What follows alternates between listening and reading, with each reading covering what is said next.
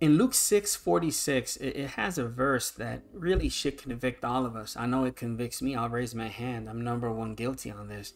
And why call ye me Lord, Lord, and do not the things which I say? I don't know about you, but if that Bible verse doesn't convict you, I don't know what will.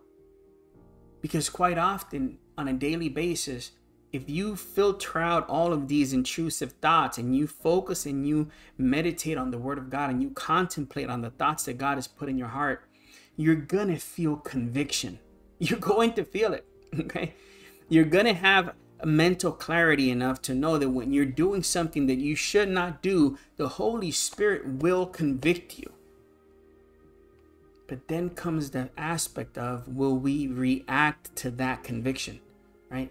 When that conviction hits us, are we going to act on it or are we going to simply keep on walking and say, Tomorrow I'll do it? Next week I'll start. Next week I'll begin to read the word. Next week I'll begin to pray some more. Next month I'll start to fast.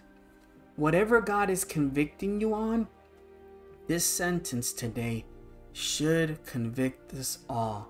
And why call ye me Lord, Lord? And do not the things which I say.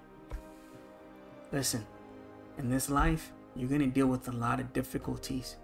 It's not easy. I get it. Okay? But there's simplicity in Jesus Christ. Go back to the fundamentals.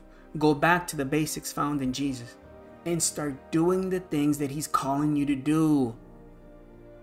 Otherwise, you're going to keep on the same path that you're keeping on, and a little leaven leaveneth the whole lump. Let's take some action. In Jesus' name. Heavenly Father, thank you for convicting our hearts. Thank you for reminding us to take that action. Thank you for reminding us about obedience.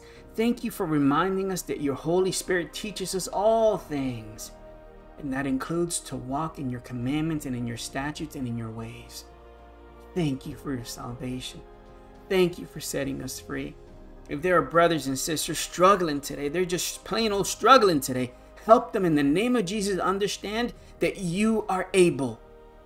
In Jesus' name, amen. God bless you. It's always an honor to spend some time with you.